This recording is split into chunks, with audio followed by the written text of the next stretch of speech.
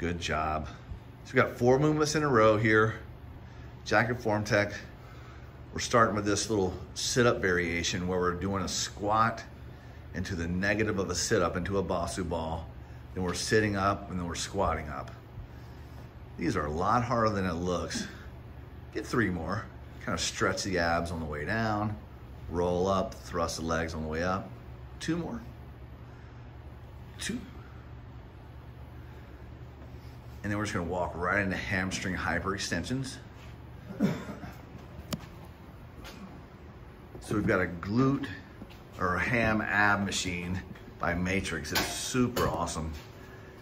And Jack's got this dialed in where he can really isolate his hamstrings. So we're fully extending our legs on the way down while still being able to look up, head up, chest up. We only initiate the positive as we dip the knees and isolate the calves and hamstrings and ultimately glutes at the top.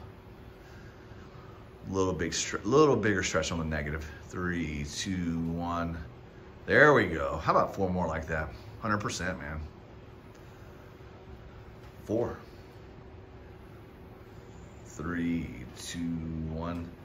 For those of people that haven't tried these before, these are almost impossible if you just jump into them to try to learn the form. These take a couple of weeks at least to learn how to do with good form and to get your hamstrings and calves strong enough to be able to do just in general.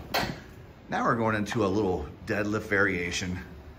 We got about 210 to 225 on this little octagon deadlift bar.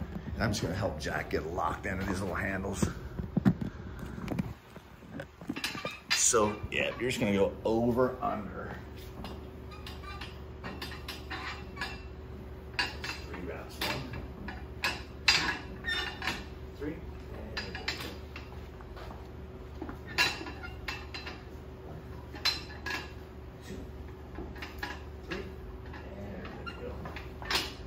So now that the straps are locked in, there's nowhere for him to go.